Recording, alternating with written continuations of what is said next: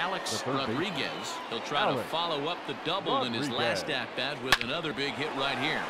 Swing, line, drive. That's going to be trouble.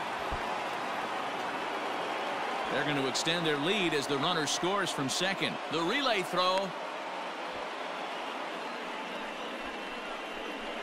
And he'll get in there safely. Now batting. Into the box, Gio Urshela. Gio Urshela. As the first pitch to him